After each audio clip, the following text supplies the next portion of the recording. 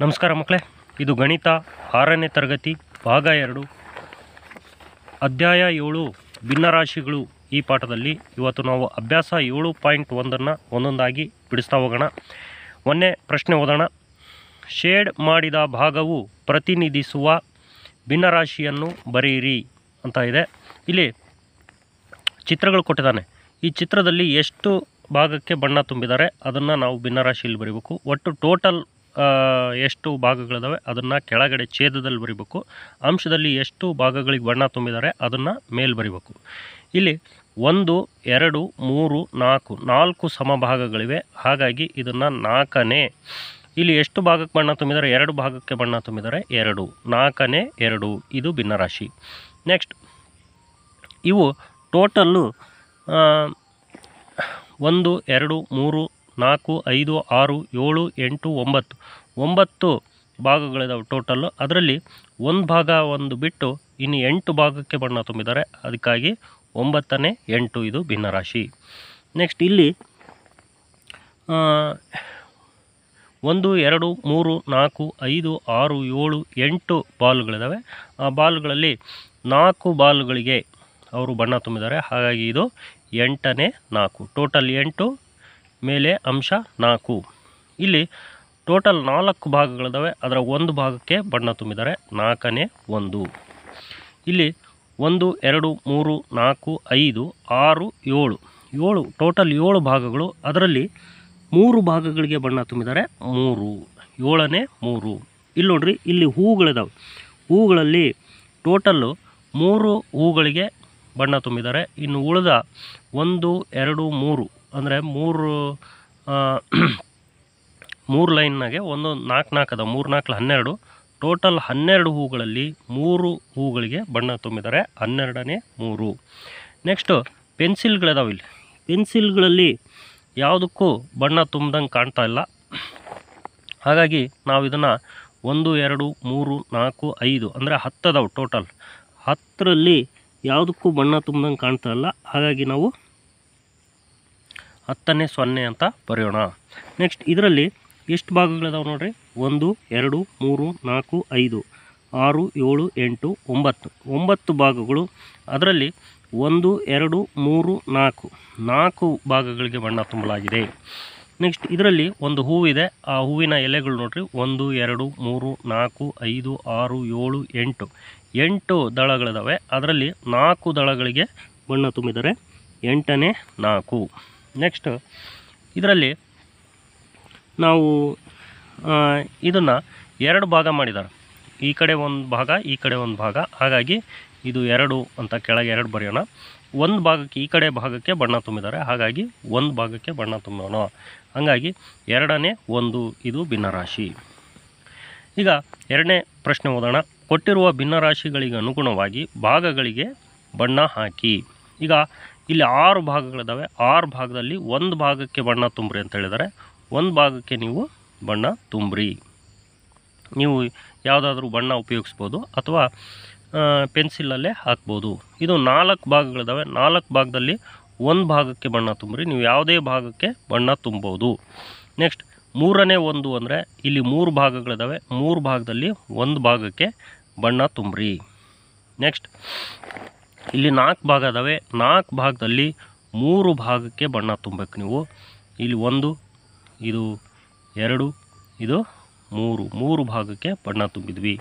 ಇಲ್ಲಿ ಒಂಬತ್ತು ಭಾಗ ಅದಾವೆ ಒಂಬತ್ತು ಭಾಗದಾಗೆ ನಾಲ್ಕು ಭಾಗಕ್ಕೆ ನಾವು ಬಣ್ಣ ತುಂಬಬೇಕು ಒಂದು, ಎರಡು, ಮೂರು, ನಾಲ್ಕು. ನಾಲ್ಕು ಭಾಗಕ್ಕೆ ಬಣ್ಣ ತುಂಬಿದ್ವಿ. ಇಷ್ಟೇ ಮುಗೀತು. ಭಾಳ ಸುಲಭ ಇದೆ ಮಕ್ಕಳೇ. ತಪ್ಪುಗಳೇನಾದರೂ ಇದ್ದರೆ ಗುರುತಿಸಿ ಅಂತ ಇದೆ. ಇದ್ರೆ ಗುರುತಿಸಿ ಅಂತ ಹೇಳಿದ್ದಾರೆ ಇದು ತಪ್ಪೇನಪ್ಪ ಅಂದರೆ, ಇಲ್ಲಿ ಭಾಗ ಮಾಡಿರೋದು ತಪ್ಪಿದೆ. ಅಂದರೆ ಈ ಒಂದು ತ್ರಿಭುಜದಲ್ಲಿ ಒಂದು ದೊಡ್ಡ ಭಾಗ ಆಗಿದೆ, ಒಂದು ಸಣ್ಣ ಭಾಗ ಆಗಿದೆ. ಇಲ್ಲೂ ಅಷ್ಟೇ, ಇವು ದೊಡ್ಡ ಭಾಗಗಳು, ಇವು ಸಣ್ಣ ಭಾಗಗಳು.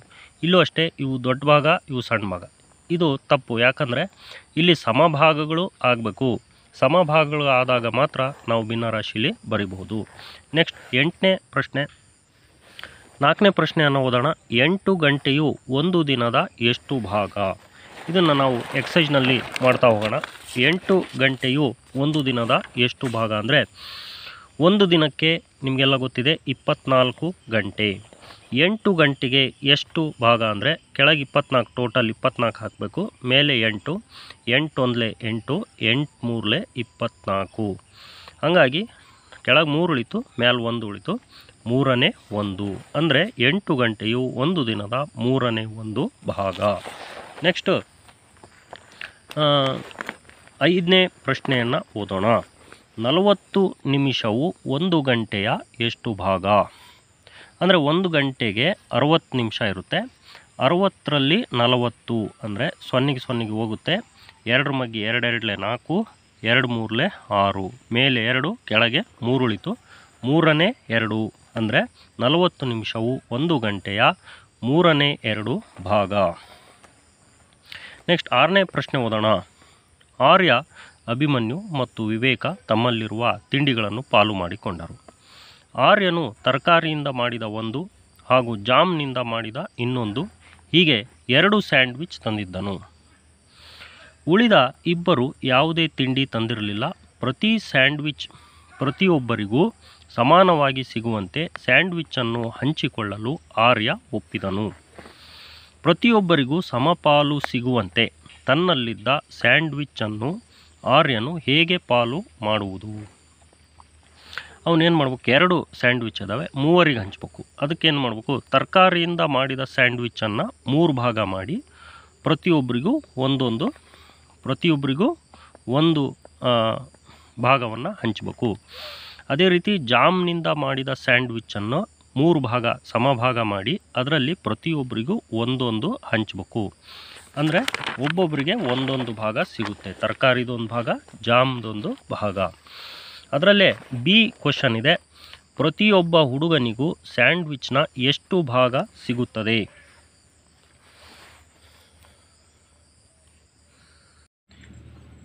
ಎರಡು ಸ್ಯಾಂಡ್ವಿಚ್ಗಳಿದ್ದಾವೆ ಒಂದು ತರಕಾರಿಯಿಂದ ಮಾಡಿದ ಸ್ಯಾಂಡ್ವಿಚ್, ಇನ್ನೊಂದು ಜಾಮ್ನಿಂದ ಮಾಡಿದ ಸ್ಯಾಂಡ್ವಿಚ್.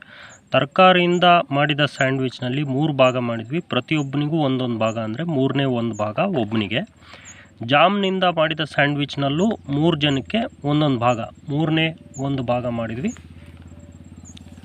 ಮೂರನೇ ಒಂದು ಭಾಗ. ಎರಡು ಸೇರಿ ಒಬ್ಬೊಬ್ಬನಿಗೆ ತರಕಾರಿಯಿಂದ ಒಂದು ಭಾಗ ಜಾಮ್ನಿಂದ ಒಂದು ಭಾಗ. ಟೋಟಲ್ ಎರಡು ಭಾಗ ಅಂದರೆ ಮೂರನೇ ಎರಡು ಭಾಗ ಒಬ್ಬೊಬ್ಬರಿಗೆ ಸಿಕ್ತು ಅಂತಂದೇಳಿ. ಈಗ ಏಳನೇ ಪ್ರಶ್ನೆಯನ್ನು ಓದೋಣ. ಕಾಂಚನಾಳು ಉಡುಗೆಗಳಿಗೆ ಬಣ್ಣ ಹಾಕುತ್ತಿದ್ದಾಳೆ. ಮೂವತ್ತು ಉಡುಗೆಗಳಿಗೆ ಬಣ್ಣ ಹಾಕಬೇಕು. ಈಗಾಗಲೇ ಇಪ್ಪತ್ತು ಉಡುಗೆಗಳನ್ನು ಮುಗಿಸಿದ್ದಾಳೆ. ಉಡುಗೆಗಳ ಎಷ್ಟು ಭಾಗ ಅವಳು ಬಣ್ಣ ಹಾಕಿ ಮುಗಿಸಿದ್ದಾಳೆ? ಈಗ ಅವಳು ಬಣ್ಣ ಹಾಕಿ ಮುಗಿಸಿದ ಉಡುಗೆಗಳ ಭಾಗ. ಒಟ್ಟು ಅವಳು ಎಷ್ಟು ಹಾಕಬೇಕು? ಮೂವತ್ತು ಟೋಟಲ್ ಇದ್ದಾವೆ ಬಣ್ಣ ಹಾಕವು. ಅವಳು ಅಲ್ಲಿ ಇಪ್ಪತ್ತನ್ನು ಮುಗಿಸಿದಾಳೆ. ಮೂವತ್ತು ಕೆಳಗಬಾರ್ದು ಬರೋದು, ಇಪ್ಪತ್ತು ಮೇಲೆ, ಮೂವತ್ತನೇ ಇಪ್ಪತ್ತು. ಇದು ಈ ಸೊನ್ನೆಗೂ ಈ ಸೊನ್ನೆಗೂ ಕ್ಯಾನ್ಸಲ್ ಮಾಡಿದರೆ ಮೂರನೇ ಎರಡು ಭಾಗ ಅವಳು ಅದನ್ನು ಬಣ್ಣ ಹಾಕಿ ಮುಗಿಸಿದಾಳೆ ಅಂತ. ನೆಕ್ಸ್ಟ್ ಎಂಟನೇ ಪ್ರಶ್ನೆಯನ್ನು ಓದೋಣ. ಎರಡರಿಂದ ಹನ್ನೆರಡರವರೆಗಿನ ಸ್ವಾಭಾವಿಕ ಸಂಖ್ಯೆಗಳನ್ನು ಬರೆಯಿರಿ. ಅದರ ಎಷ್ಟು ಭಾಗ ಅವಿಭಾಜ್ಯ ಸಂಖ್ಯೆಗಳಾಗಿವೆ ಅಂತ ಕೇಳಿದಾನೆ. ಈಗ ಎರಡರಿಂದ ಹನ್ನೆರಡರವರೆಗಿರ್ತಕ್ಕಂಥ ಸ್ವಾಭಾವಿಕ ಸಂಖ್ಯೆಗಳು ಒಂದೊಂದಾಗಿ ಕಾಮ ಹಾಕಿ ಬರ್ಕೊಳ್ಳೋಣ. ಎರಡು, ಮೂರು, ನಾಲ್ಕು, ಐದು, ಆರು, ಏಳು, ಎಂಟು, ಒಂಬತ್ತು, ಹತ್ತು, ಹನ್ನೊಂದು, ಹನ್ನೆರಡು. ಇವೆಲ್ಲವೂ ಸ್ವಾಭಾವಿಕ ಸಂಖ್ಯೆಗಳು ಎರಡರಿಂದ ಹನ್ನೆರಡರವರೆಗೆ. ಇವೆಷ್ಟದವೆ ಎಣಿಸೋಣ ಒಂದು, ಎರಡು, ಮೂರು, ನಾಲ್ಕು, ಐದು, ಆರು, ಏಳು, ಎಂಟು, ಒಂಬತ್ತು, ಹತ್ತು, ಹನ್ನೊಂದು. ಈ ಒಟ್ಟು ಸಂಖ್ಯೆಗಳು ಹನ್ನೊಂದು ಇದ್ದಾವೆ ಇದರಲ್ಲಿರ್ತಕ್ಕಂಥ ಅವಿಭಾಜ್ಯ ಸಂಖ್ಯೆಗಳು ಅಂದರೆ ಬೇರೆ ಸಂಖ್ಯೆಯಿಂದ ಭಾಗ ಆಗದೇ ಇರೋ ಸಂಖ್ಯೆಗಳು. ಎರಡು, ಮೂರು, ಐದು, ಏಳು, ಹನ್ನೊಂದು. ಇವೆಲ್ಲ ಅವಿಭಾಜ್ಯ ಸಂಖ್ಯೆಗಳು. ಇವೆಷ್ಟಿದಾವೆ? ಒಂದು, ಎರಡು, ಮೂರು, ನಾಲ್ಕು, ಐದು. ಇವು ಐದು ಸಂಖ್ಯೆಗಳಿದಾವೆ.